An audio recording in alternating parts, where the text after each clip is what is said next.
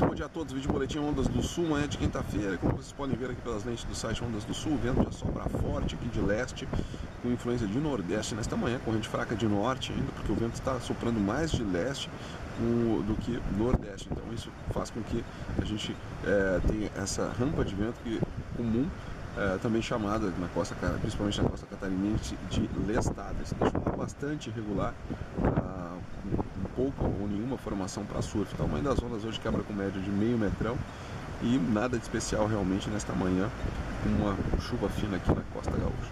Para maiores informações, acompanhar ao vivo, conferir também as previsões para o final de semana e já para a semana que vem, basta abrir a sua janela de frente para o mar, ondasdosul.com.br.